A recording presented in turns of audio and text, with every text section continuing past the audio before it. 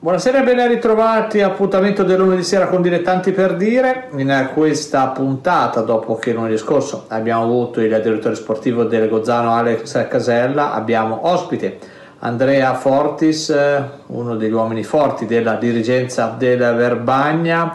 al quale chiediamo subito come sta vivendo questa quarantena prolungata, questa assenza di, di calcio giocato e quanto è penalizzante per una società come il Verbagna. Buonasera Daniele, buonasera ai tuoi ascoltatori, grazie per avermi invitato. Eh, co- come sto vivendo questo, questo momento di quarantena? Innanzitutto con grande ammirazione e gratitudine nei confronti dei medici, infermieri, protezione civile, volontari, eh, che stanno dimostrando come questo paese sappia ancora essere altruista e generoso e, e sappia unirsi nei momenti di difficoltà. Quindi è bello vedere, nonostante i pericoli, nonostante tutte le cose che noi conosciamo, eh, vedere quante persone in questo momento si stanno dedicando al prossimo senza guardare a, ai pericoli che stanno correndo. Poi il secondo pensiero va sicuramente ai sindaci di tutti i paesi che hanno approntato tutte le misure necessarie a cercare di ridurre il più possibile il disagio eh, della popolazione, principalmente delle persone anziane che hanno più difficoltà a muoversi anche solo per fare la spesa, per prendere i medicinali e quindi vedere come tante iniziative sono state organizzate, tante cose sono state fatte proprio per andare incontro a, alle esigenze quotidiane di tutti. Eh, poi ovviamente da padre e da figlio c'è la preoccupazione per, per, i nostri cari, per chi ci è più vicino, perché ci si augura insomma che possa stare lontano da questo male o eventualmente prenderlo in maniera molto leggera. Eh, purtroppo è un problema che ha toccato tutti, questa pandemia, chi in maniera più dura, chi più da vicino, chi in maniera un po' più distaccata, però credo che tutti noi abbiamo avuto la, la possibilità di, di, di toccare con mano quelli che sono gli effetti di questa pandemia. Il calcio oggettivamente è arrivato dopo, o quantomeno viene dopo. Eh, sì, sì, il campionato a un certo punto è stato sospeso e credo che tutti, da un lato, soprattutto noi che siamo stati toccati con un nostro tesserato che, che ha avuto questo problema, preoccuparci quantomeno di, di, di, di cercare di salvaguardare la salute dei nostri ragazzi. Ora stanno tutti bene, insomma non, non, non ho notizie eh, recenti di, problemi di questo genere, però insomma c'è stata soprattutto nella Verbaglia una grande preoccupazione. E sì, è vero, magari ci manca la partita domenicale, ma in questo momento la nostra testa, eh, i nostri sforzi, i nostri pensieri sono oggettivamente eh, rivolti ad altro, quindi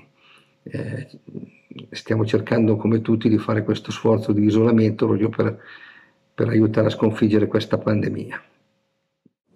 Andrea, in questo momento si fanno tante ipotesi, c'è una ridda di voci, ci sono società, soprattutto lombarde, che hanno uh, già mandato mail e richieste ufficiali alla federazione per chiedere che si sospenda definitivamente il campionato. Ti chiedo qual è la posizione ufficiale da parte della Verbania Calcio in merito. Eh, Daniele, mi hai fatto una domanda scivolosa perché non, non, è semplice rispondere. Io non so se altre società si siano già fatte avanti con la federazione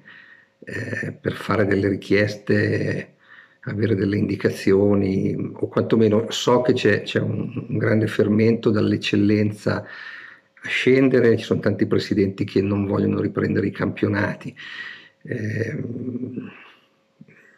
condivido la loro preoccupazione, nel senso che riprendere i campionati lo si potrà fare solo quando ci sarà l'assoluta certezza eh, che la pandemia sia terminata, che si possa uscire e tornare ai campi di calcio eh, in sicurezza. Non voglio immaginare una conclusione della stagione a porte chiuse perché sarebbe mortificare quello che deve essere un momento di gioia e di divertimento. Senza il pubblico il calcio non esiste e quindi capisco nei campionati dove per necessità eh, di, di, o interessi economici elevati si possa o sia necessario fare queste cose, non lo vedo nelle, nelle categorie eh, dilettantistiche. Eh, la posizione del Vermagna. La posizione del Vermagna è, è, è, difficile da esprimere, nel senso che la, la, la, classifica che uno ha in questo momento ti condiziona nel dire qual è la cosa giusta da fare. Voi come sapete eh, Germania è penultimo in questo momento, ma ha una partita in meno. Paradossalmente, eh, se dovesse vincere questa partita, sarebbe la prima squadra a, a essere nei play-out e quindi potrebbe giocare la partita di spareggio in casa eh, contro eh, la, la, la terzultima, insomma. Quindi noi non prendiamo una posizione rispetto a queste. Non abbiamo particolari richieste da fare alla federazione. Chiediamo magari di essere ascoltati, ecco, di poter esprimere nelle sedi opportune quella che è la nostra opinione e chiediamo eh, di, di, di eh, poter portare il nostro modesto contributo, fermo restando che accetteremo qualsiasi decisione venga presa a condizione che secondo noi eh, ci sia la, la, possibilità di giocare eh, in sicurezza, quindi preservando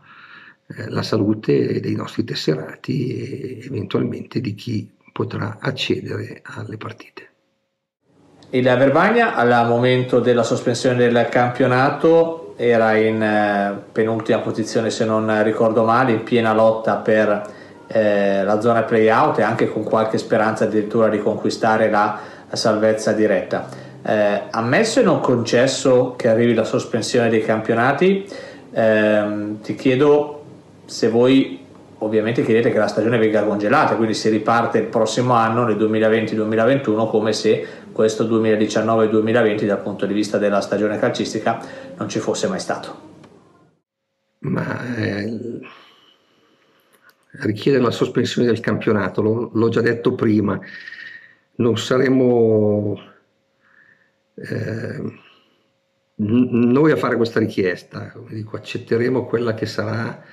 la, la, proposta della federazione, anche perché in questo momento, eh, secondo me, concentrare i nostri sforzi, la nostra attenzione sulla necessità di chiudere i campionati probabilmente è fuorviante rispetto a quello che è eh, il vero pericolo del calcio dilettantistico, ma, ma in, dello sport in generale. Cioè, non, non, non è, è, è, semplice. Eh, eh, cioè non, non, sarà semplice comunque sia trovare la formula per completare i campionati per tanti problemi e per tanti motivi di cui magari eh, parlerò più tardi, ma eh, a, a mio modesto avviso in questo momento bisogna cercare di capire come sarà possibile ripartire a settembre con i nuovi campionati eh, il mondo è, è, cambiato improvvisamente, alcuni dicono dobbiamo paragonare questo momento a, a, situazioni che si sono create quando ci sono state le grandi guerre e, e probabilmente hanno ragione. Cioè, quello che è stato vero fino a un mese fa non lo è più, gli equilibri, le dinamiche sono cambiate in maniera radicale. Quindi eh, guardare o pensare o concentrare i propri sforzi nella direzione della chiusura dei campionati, probabilmente in questo momento ci distoglie attenzione ed energie eh, da quello che invece deve essere eh, il, il, il, nostro obiettivo, e cioè cercare di ripartire eh, a settembre, cosa che io vedo al momento effettivamente complicato e probabilmente il fatto di non concludere i campionati ci darebbe più tempo per riorganizzare le cose, ma per ripartire col piede giusto nella prossima stagione. Ecco, io questo penso sia il, il, il nodo centrale di quello che sarà il proseguo eh, del calcio dilettantistico. Ecco, voi l'emergenza coronavirus vi ha anche toccato in maniera diretta perché mister Luca Porco uh, ha contratto il virus e tra l'altro ti chiediamo anche uh, come sta, uh, se si è ripreso anche se le notizie in tal senso erano abbastanza confortanti, anzi senza l'abbastanza erano confortanti. Um, quanto il coronavirus, tu che ti occupi anche di marketing, di sponsorizzazioni, può avere un effetto detonante in questa stagione con gli sponsor, con i mancati in cassa alla, alla, alla luce del bilancio e anche e soprattutto in vista del futuro? Beh, innanzitutto mi sento di tranquillizzare tutti sulle condizioni di Luca Porco con cui mi sento telefonicamente tutte le settimane. Lui sta bene, eh, non ha più nessun sintomo, sta ovviamente aspettando che venga ufficializzata la sua guarigione con i famosi tamponi negativi che, che dovrà fare in questi giorni, eh, però mm, pensiamo che sia un problema assolutamente risolto e alle spalle e soprattutto siamo contenti che eh, non ci sia stato nessun eh, contagio tra il, il, gruppo che lui gestisce. Eh, che effetto ha avuto il coronavirus eh, in questa stagione? Ha avuto un effetto devastante, devastante per motivi molto semplici. Noi siamo una, una società che vive prevalentemente di sponsorizzazioni e le sponsorizzazioni ci arrivano dal territorio e dal tessuto economico e imprenditoriale della città di Verbania e dintorni, che sappiamo tutti essere e ruotare intorno a questa uh, bellezza dei luoghi che porta ad avere una ricettività turistica importante sia eh, locale sia italiana che estera. Ovviamente eh, questa situazione ha messo in grave difficoltà tutte le aziende che sostengono il Verbania Calcio e quindi credo che in questo momento abbiano una priorità che è quella di pensare a, a come andare avanti, a come superare questo momento di grande difficoltà e non a sostenere le, il Verbagna, così pure come le, le, gli enti pubblici, il comune, credo che in questo momento se ha un euro da spendere lo spenda per alleviare la sofferenza dei propri cittadini e non possa pensare a sostenere in particolare lo sport o in particolare il calcio. Quindi è un mondo che è radicalmente cambiato nel giro di un mese. Eh, come dicevo prima, eh, dal punto di vista economico è impensabile poter concludere questa stagione perché non vedo ehm, come si possano avere i ricavi necessari per poterla eh, completare. E, e, spero anche qualora dovesse riprendere che, che, che, non si dovesse decidere di giocare a porte chiuse perché poi noi sappiamo che, che sul bilancio del Verbania il pubblico e quindi quello che arriva dalla vendita dei biglietti per le partite rappresenta una voce di ricavo che vale il 25% eh, del nostro bilancio, quindi pensare di doverne farne meno per noi è impensabile, quindi è, un mondo eh, che è cambiato, è un, eh, è un futuro che va, che va, rivisto anche nel pensare alle prossime stagioni che secondo me, ma non solo per il Verbagna, ma in generale per tutto il calcio dilettantistico, andranno riposizionate su basi economiche completamente diverse. Noi non potremo più pensare di, eh, noi, ma come credo tante altre squadre, di garantire eh, certi rimborsi spese, non, non, potremo pensare probabilmente più di allenarci il pomeriggio, ma dovremo tornare ad allenarci la sera per lasciare la possibilità ai nostri tesserati durante il giorno di, di avere un lavoro o comunque sia di dedicarsi a qualche attività che possa rappresentare una, una fonte di reddito, ma, ma, credo che per un paio d'anni il calcio che si è visto fino a febbraio non ci sarà più, eh, quantomeno a livello dilettantistico, e per un paio di stagioni si dovrà tutti pensare e, e ragionare mentalizzare sul fatto che le risorse per lo sport eh, in generale e per il calcio in particolare sono drasticamente ridotte, saranno drasticamente ridotte, quindi va, va pensato e va immaginato un modo di fare calcio in maniera diversa e ci auguriamo che questi temi vengano compresi anche dalla federazione eh, che possa a sua volta calibrare quelle che sono anche le spese per le, le, le iscrizioni, le gare, eh, le trasferte, insomma tutto quello che, che, che ruota intorno al mondo calcio eh, vada riposizionato su, su livelli economici completamente diversi. Dunque, guardiamo adesso al futuro, che è un po' quello che interessa eh, i tifosi del Verbagna.